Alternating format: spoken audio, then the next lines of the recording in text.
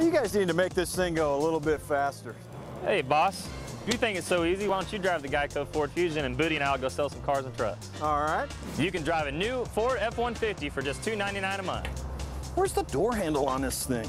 And the new Ford Focus, starting at $199 a month. All right, they said go in head first. All right, let's see. Oh, okay. Well, this doesn't seem like the right way. You'll have a lot easier time getting into your new Ford here at Germain Ford in Statesville than I did getting into their race car.